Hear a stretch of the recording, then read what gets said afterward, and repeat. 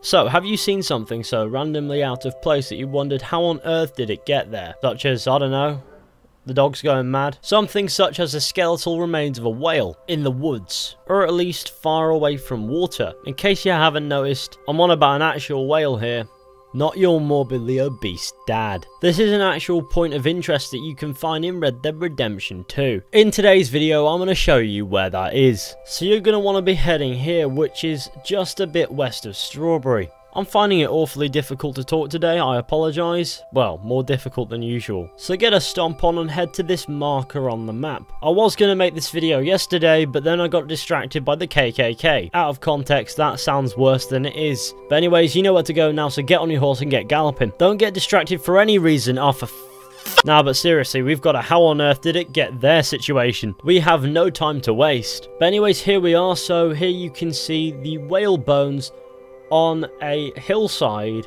I'm going to pretend that that'll make sense, but we'll get to that in a moment. When you arrive, it will just say bones, but when you inspect these bones, it will say whale bones but all you'll see in your journal is a drawing of the bones. And here of course is Arthur's superior drawing of the bones. But yeah, that's pretty much it, it's just whale bones on a hill. Leaves you to wonder how on earth did they get there. There are two possible explanations for this, one of them is likely, the other one's just absurd.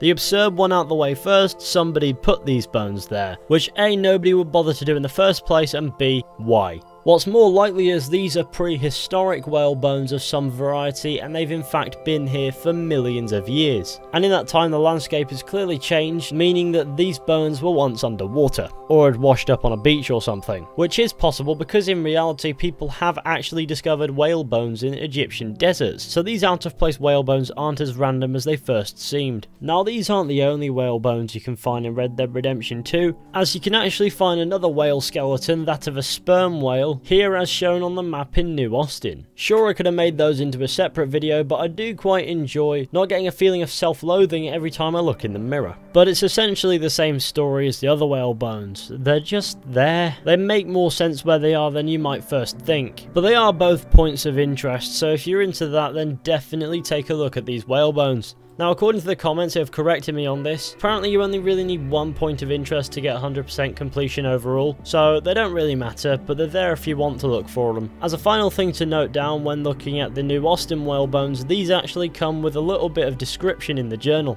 John Marston's entry reads, a whale in the desert, Another thing I don't understand, and if somehow you manage to get down here with Arthur Morgan, it'll read, was this a whale in the desert? So the text doesn't really mean much, but I thought I'd mention it nonetheless. But anyways, that wraps up this video to be fair. I would say let me know what you think, but it's basically just a couple of dead whales in really random places. I'm not sure what kind of room for thought that yields. But anyways, thank you all for watching. I hope you enjoyed. Be sure to go ahead, leave a like, subscribe, share the channel with your friends and all that wonderful stuff. I would really appreciate it. And I'll see you all very soon with another video at some point.